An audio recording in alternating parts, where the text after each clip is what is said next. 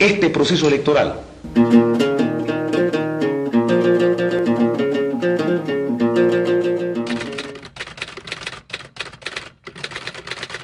Los ricos nos volvieron a nosotros y los pobres estamos por el suelo. La democracia, una falacia, una sonrisa y muñequeo, me hacen creer que sí les creo. ¿En nuestro país existe una verdadera democracia o, o nos gobiernan los ricos? No, no existe democracia. Primero porque no se utilizan los mecanismos adecuados de política ni nos basamos directamente en artículos de la Constitución, sino más bien esto es se refleja en una ola de corrupción como se ha visto actualmente. La democracia está por los suelos, hermano, no hay en Estado de Derecho. No lo hay.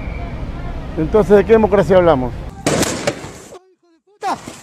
¡Lo mataron! Dejaron que el pueblo se muera, hermano. Mire toda esa corrupción que hubo en los hospitales. Se nos está muriendo la gente. Nuestros padres, nuestras madres, nuestros hijos, nuestros primos. Si se ha convertido en una mafia. Esto que tenemos es una mafia. Cada puesto que pone el señor presidente, siempre tiene que haber una persona corrupta para llevar las cosas por otro lado.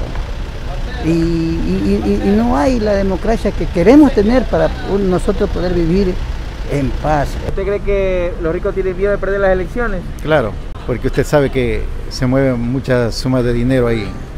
Si pierden las elecciones no recuperan lo invertido. Se supone que la democracia es que el ciudadano pueda elegir y también ser elegido.